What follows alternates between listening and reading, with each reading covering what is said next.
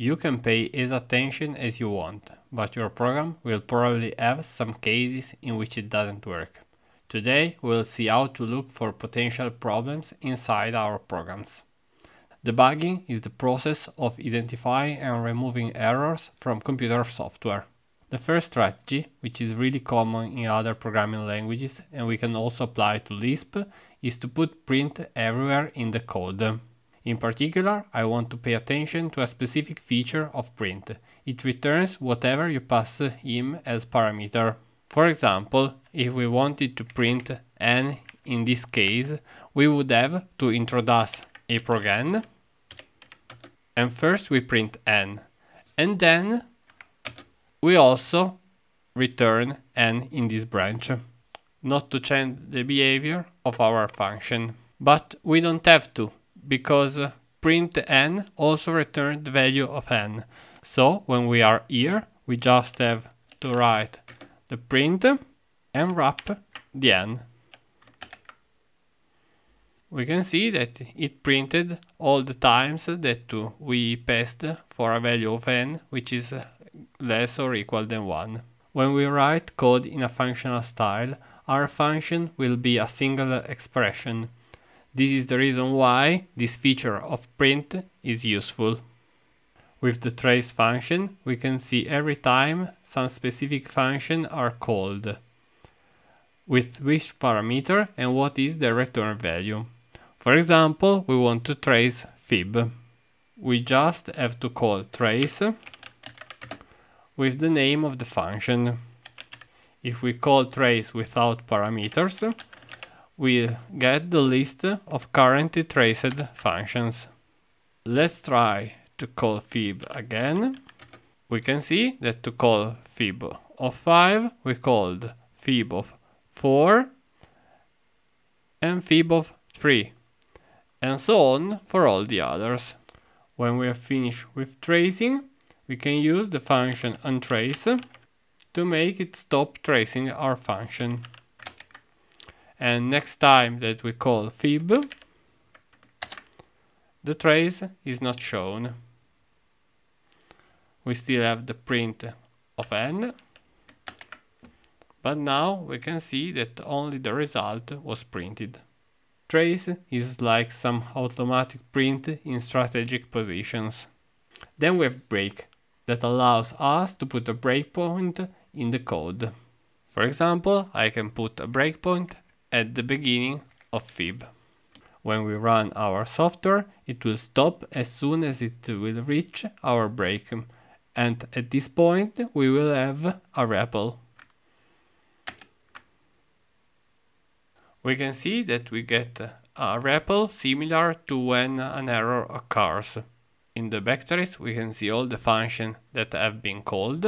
And if I press continue, with 0, we can see that the code goes on. fib of 5 called fib of 4, which calls fib of 3. At each stage of backtrace, we can inspect the local and global variable. Pressing enter, I can see that currently the only uh, local variable is n equals to 3. We can press V to view the source code we are currently in we can step between form using S. The problem is that by default SBCL optimizes a lot the code. During the debugging, it's useful to set the debug level for optimization. To do this, we stop the debugger, pressing Q. We add the declaration in which we set optimize to debug. We compile again the function and we start it.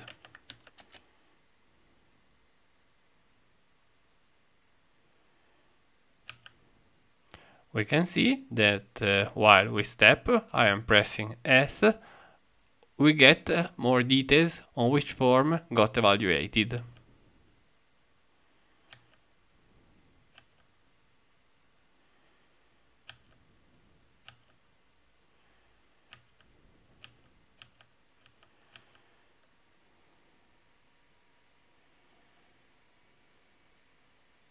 Pressing E, we can evaluate a form in the current frame, in the current context of the function. For example, n, I can see that is equal to 2. It is interesting that break is an expression, so it's really simple to introduce conditional break. Just put it inside a branch like when. For example, I could have noticed that uh, my function behave in strange way when n is small. So I put the break only when n is less than 3. Then even if I call fib with 10, the execution went on until we reached fib evaluated on 2. Inspect is one of the best way to explore the state of our objects. Sure, you can print the values you are interested in, but uh, what if you could have a visual representation of the internals of your objects? For example, I define a class rectangle with two slots and then we make an object of rectangle base 10 and height 5. Let's evaluate it in the REPL.